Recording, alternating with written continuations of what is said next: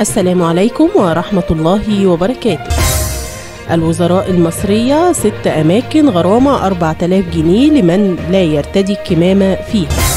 ولكن نرجى الاشتراك في القناة بضغط زر السبسكرايب الأحمر وتفعيل زر الجرس لمتابعة كل جديد.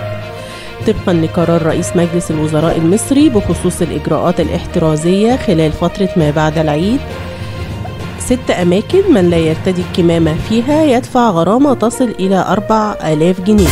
وهم الأسواق المحلات البنوك المنشآت الحكومية المنشآت الخاصة كافة وسائل النقل الجماعية.